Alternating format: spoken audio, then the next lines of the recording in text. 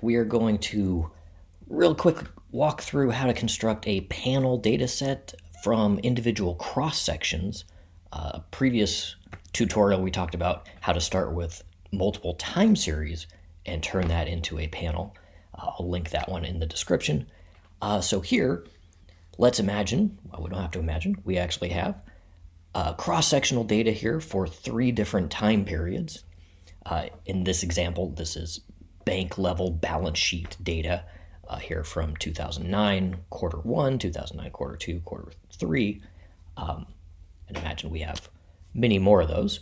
Uh, so all we're going to do is basically stack these individual cross sections one on top of the other.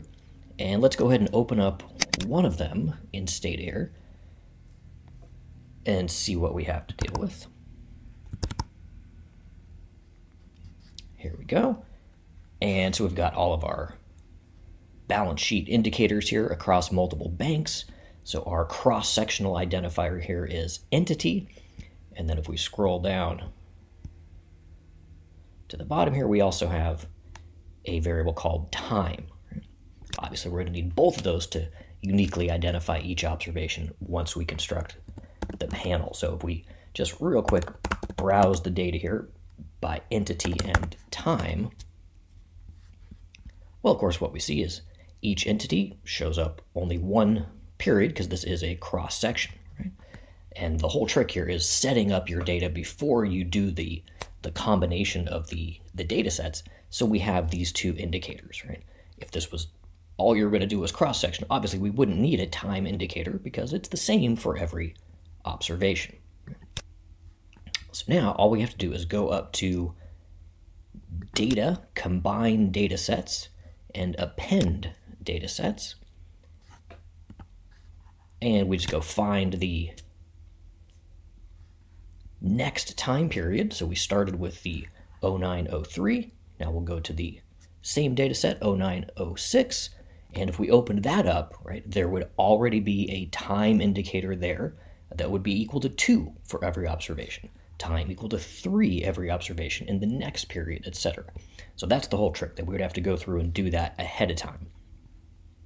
But let's go ahead and select that next time period here.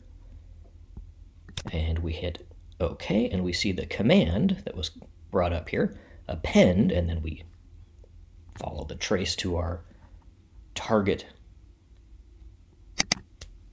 data file. And now let's sort our data by entity and time again. And let's rebrowse and see what we have. Well, now, now we have a panel, right, a two-period panel. So bank entity 37 shows up in period 1 and period 2. Bank 242 shows up in period 1 and period 2, etc. And now, as long as you've got your again, all your data ready to go. So the next one has that time indicator equal to 3. We can bring back up the append command here in Stata and just make that little change. So now we're bringing up our data file for 0909, quarter 3, 2009, and everything else is exactly the same. And let's resort our data again. And again, browse entity and time. And we see exactly what we want. So each bank appears multiple periods. The ones that we're looking at here all appear three periods, right? We may or may not have a balanced panel. And now you're ready to use all of our panel commands, right? So we can go xt set entity and time. So our panel variable, our cross-sectional identifier, entity, time period, one to three. And now we could do something like a fixed effects or a random effects panel regression, right? So just for the sake of example, let's try to predict loans with assets using the fixed effects option. And there we have it, right? So we have our kind of panel dimensions outlined here.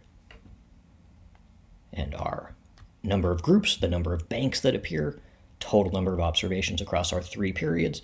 So if you were doing uh, additional periods, we would just continue that same pattern. Okay? All right, I hope that is helpful. Thanks a lot.